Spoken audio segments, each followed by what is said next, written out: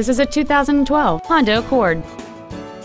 It features a 2.4-liter four-cylinder engine and a five-speed automatic transmission. Its top features include a double wishbone independent front suspension, aluminum wheels, and traction control and stability control systems.